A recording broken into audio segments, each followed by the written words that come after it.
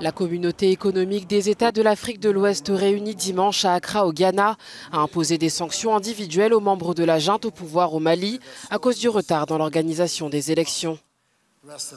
Ces sanctions qui s'appliquent également aux membres de leur famille comprennent l'interdiction de voyager ainsi que le gel de leurs avoirs financiers.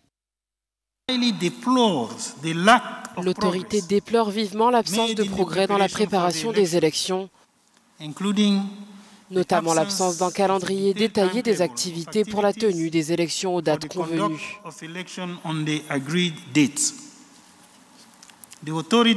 La CDAO a décidé d'imposer des sanctions avec effet immédiat contre les individus et les groupes qui ont été identifiés y compris les membres entiers des autorités de transition et d'autres institutions de transition.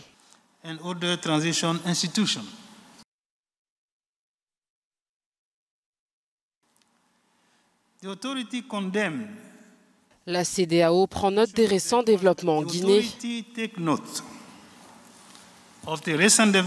notamment l'adoption de la charte de la transition, la nomination du Premier ministre civil et également la formation du gouvernement de transition. Elle exhorte les autorités de la transition à présenter d'urgence un calendrier détaillé concernant les activités à mener dans le cadre de la transition en vue de la tenue des élections. La CDAO a aussi condamné l'expulsion de son représentant au Mali, Amidou Boli, déclaré persona non grata le mois dernier.